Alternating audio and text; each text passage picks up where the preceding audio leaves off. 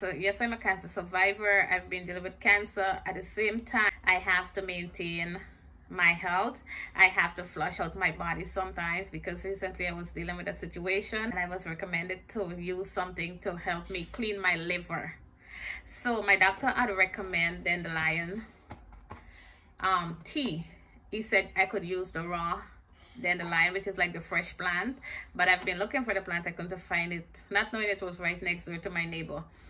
So um, he recommend that this would help clean my liver.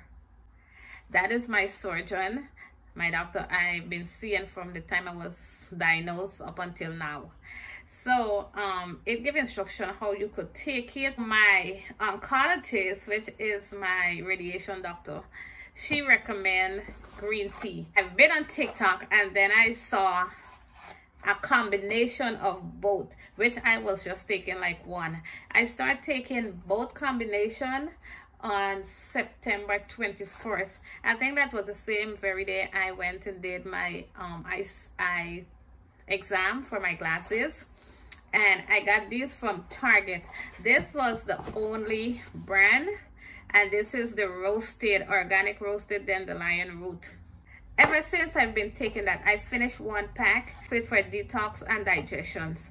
So it have 16 in here. I've been taking it like morning and night on an empty stomach in the morning and night is the last thing I take before I go to bed.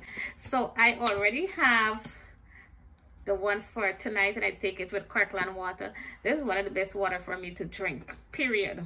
Like I said, it have like a weird taste, but for me, since I been taking my son to school every morning. It is hard like sometimes to wake up and then i have to go make a pack of the tea.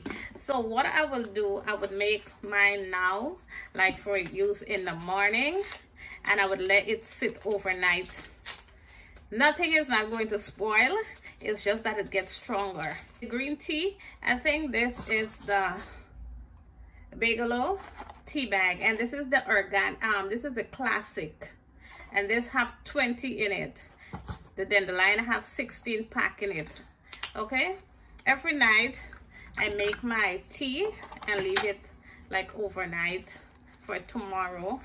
And this is what i take in the morning on the go while i'm taking my kids to school because like i told you guys the school is walking distance. But it just have like a little a little strong taste.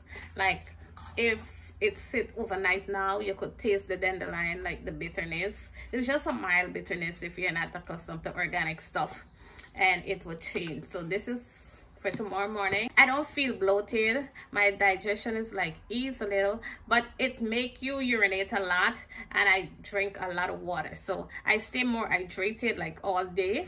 It detox your body. So i recommend this it take time for you to see result you can't expect it to do it in two weeks stop and then go back. I do not take mine with any cream or any sugar no nothing no syrup no honey no nothing. Just the way it is. So you guys could try it. It's very organic. Like it's um like i said it's detox. I'm using it to help me clean my liver my kidney and other part other organs in my body. So just to let you guys know. I think the lady is called the church the church girl. She said she's a churchy churchy person so